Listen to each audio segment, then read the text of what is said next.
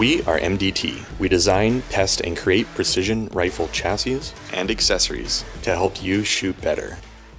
Hey, say you're have an interest in getting into extended range hunting. You've been traditionally one, two, three hundred yard type of guy where you kind of hold over what we've done forever, right? And say you got a factory gun, Tikkas that shoot great. Uh, say you got a 300 Win Mag.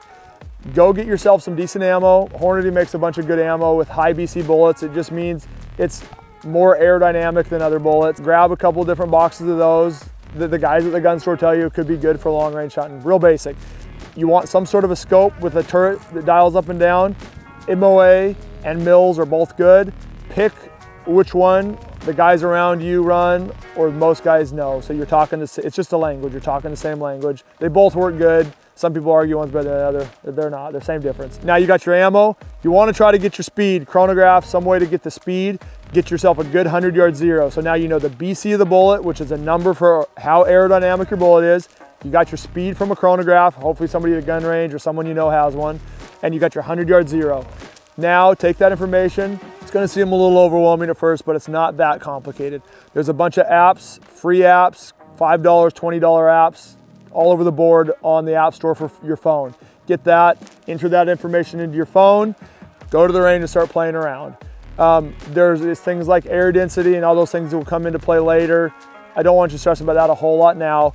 Shoot at 100, run your app, get familiar with it, shoot at 200, shoot at 300, shoot at 400 and start to learn. That's what I did. I put clay pigeons, first time I started shooting clay pigeons at 350 and four, blown away. And I was just playing with this old app, this is a long time ago. So they've come, they've come a long ways. Work your way out and, and see if you enjoy it.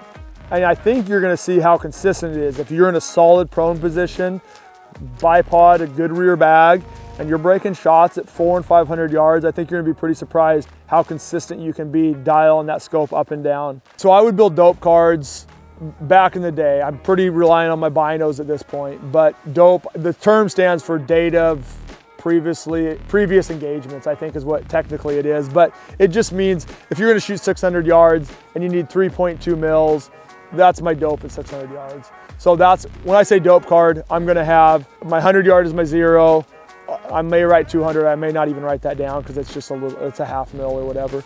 But I'm gonna write down my 300, my 400, my 500, when I get to 500, I'd start breaking it down to like 556, 657, because it starts, you, you know, as your trajectory comes out, trajectory, the farther out you go, the steeper that curves gets. So you need to fill in um, 550. When you get to 1,000, if you're gonna go real far, which I wouldn't recommend on a dope card, you wanna be a little more specific. You can 25 yard or 10 yard increments, but I would do 50s, 556, 657, 758, and I'd stop around 800 or 1,000.